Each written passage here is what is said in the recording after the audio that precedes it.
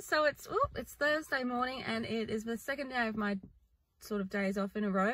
Yesterday was really busy. I ended up going to TAP and then me and mum went to Timezone and then we went to uh, like a smaller shopping grocer's place where you could get some really yummy food and I got a peanut butter slice and it was really really good. I was gonna vlog there but I completely forgot and I should have done because it would have been cool. But today I'm just at my ballet class and then later today my mum's phoning her friend so I think I'll play a bit of Animal Crossing.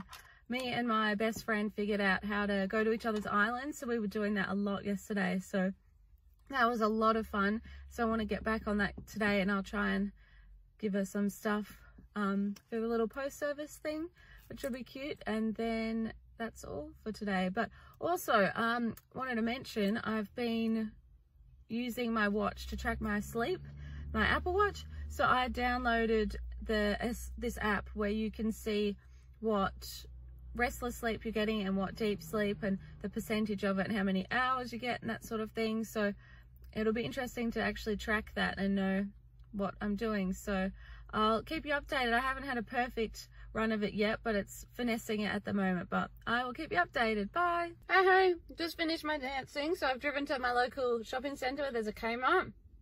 Oh, sorry, I'm eating, but I was so hungry after class. So they have a Kmart here and I just got paid. So I'm looking to get a new sticky tape dispenser. I really want a pink one to match the theme of my room.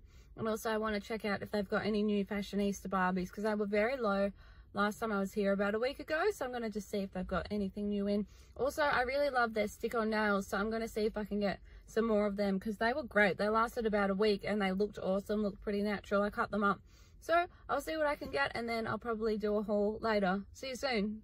So I've just come out of Kmart and I've literally bought a bag full of stuff. So I spent about 80 bucks, but I got some really good stuff and I'm so happy with it.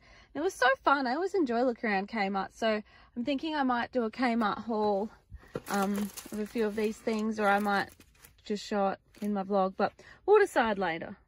Okay guys, so I got home and finally my Colourpop order had arrived with all my Sailor Moon makeup in it. So I ordered the whole collection. So I got all the glitters and the lip glosses and the blushes and that's the eye palette there. So I'm so excited to open this all up and have a play with it. It's so cute and I waited for ages, you know, I didn't get the first or the second release. So I finally got it on the third release. So this is so, so exciting.